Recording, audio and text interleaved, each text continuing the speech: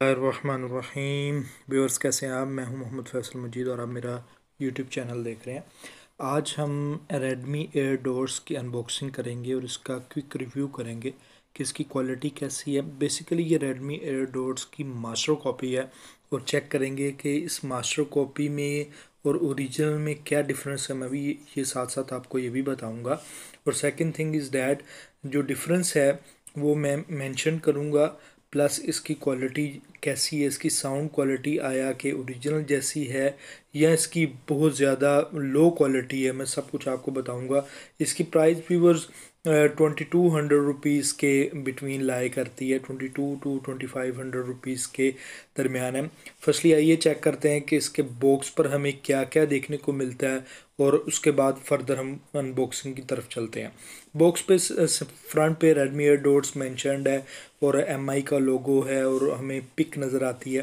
Back side پہ دیکھیں تو اس کے بار کوڈز وغیرہ اور اس کی چائنیز میں ٹوٹلی طور پہ چائنیز میں لکھا ہوا ہے، تو وہ سمجھنا ذرا مشکل ہے۔ آئیے اس کو ان باکس کرتے ہیں اور دیکھتے ہیں اس باکس کے اندر کیا ہمیں دیکھنے کو ملتا ہے۔ باکس کو جیسے ہی ہم اوپن کرتے ہیں تو فرسٹلی ہمیں جو چیز دیکھنے کو ملتی ہے وہ ریڈمی ایئر ڈورس ہے۔ ریڈمی ایئر ڈورس کی پیکنگ بڑی اچھے انداز سے کی۔ اوور آل جو اس کا ان باکسنگ ایکسپیرینس ہے وہ مجھے کافی اچھا لگا امپریسیو ہے۔ اب اس کو انریپ کر کے دیکھ لیتے ہیں کہ اس کی کوالٹی کیسی ہے۔ تو اس کی بلڈ کوالٹی مجھے کوئی اتنی زیادہ امپریسیو نہیں لگی۔ اکارڈنگ ٹو پرائس ٹھیک ہے، لیکن اوریجنل سے کافی ڈیفر ہے۔ اس کی بیک سائڈ پہ دیکھیں تو ہمیں پتہ چلتا ہے کہ 500 ہنڈریڈ ایم ایچ کا اس کا چارجنگ باکس ہے اور جو ان پٹ ہے 5 وولٹ اور 150 ملی امپیئر ہے۔ باقی اس کی چارجنگ پورٹ ہے جو کہ micro U S B cable سے چارج ہوتی ہے۔ جیسے اوپن کرتے ہیں تو اوپننگ جو ہے اس کی میگنیٹک ہے، وہ ٹھیک ہے، اس میں کوئی ایسا ایسا ڈیفر نہیں ہے۔ میگنیٹ اچھی طرح ورک کرتا ہے اور اپ اینڈ ڈاؤن صحیح طرح ہو جاتی ہے اوپن کلوز اچھی انداز سے ہوتی ہے۔ باقی سے مزید ٹیسٹ کرتے ہیں کہ اوور اوور آل اس کی جو بلڈ کوالٹی اس کے ایئر ڈوٹس کی ہے، وہ کیسی ہے، وہ اس کا ساؤنڈ کوالٹی کیسی ہے۔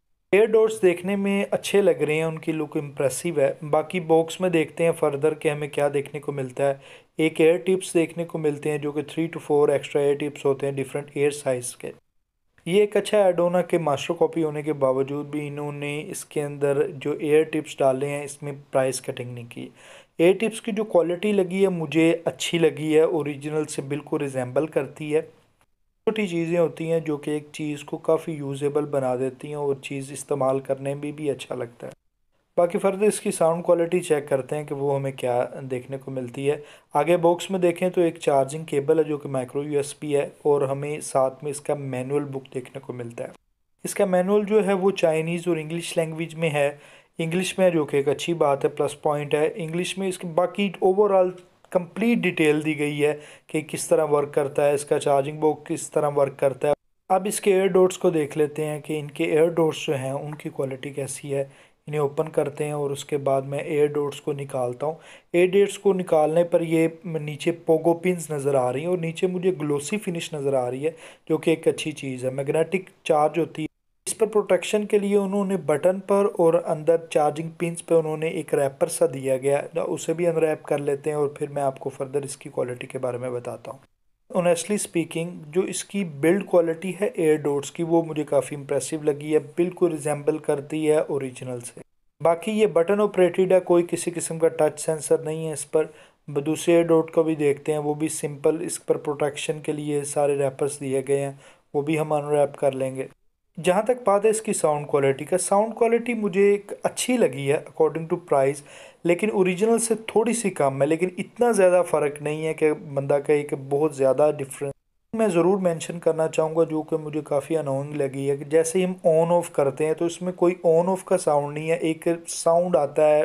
اس چیز سے تھوڑی سی چیپ اس کی کوالٹی فیل ہوتی ہے۔ مطلب چیپ لک لگتی ہے کہ یہ اس میں آن آف کا بھی انہوں نے آواز نہیں دی، صرف ایک ساؤنڈ چھوٹا سا دے دیا۔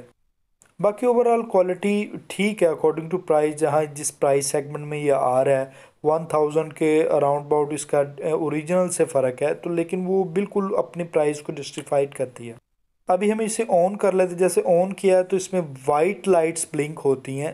پہ اس کا جو آپشن شو ہوتا ہے، وہ ریڈمی ایئر ڈوٹس آر کے نام سے ہے، جسے ہم کلک کر کے پیئر کر لیتے ہیں۔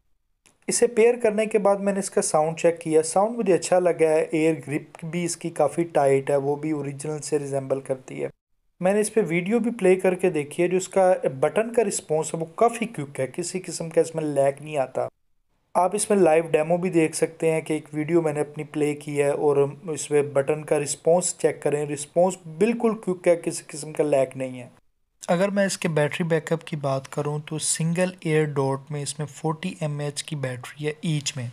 اس یوز میں آلموسٹ تھری آورز نکال جاتی ہے اور جو چارجنگ باکس ہے وہ تقریباً تین دفعہ چارج کر دیتا ایٹ لاسٹ میں یہ کہنا چاہوں گا کہ اگر آپ کو ہماری ویڈیوز پسند آتی ہیں تو کائنڈلی سے لائک کریں، ہمارے چینل کو سبسکرائب کریں اور کمنٹ لازمی کریں۔ اور کائنڈلی آپ سے ریکویسٹ ہے کہ ہم اپنی ویڈیوز کو مزید فردر کس طرح بیسٹ بنا سکتے ہیں وہ بھی ہمیں اپنی فیڈ بیک لازمی دیں۔ آپ کا فیڈ بیک ہمارے لیے بہت زیادہ اہم ہے، اس لیے کائنڈلی کمنٹ کرنا نہ بھولیے گا۔ اپنا بہت سارا خیال رکھیے گا۔ اللہ حافظ۔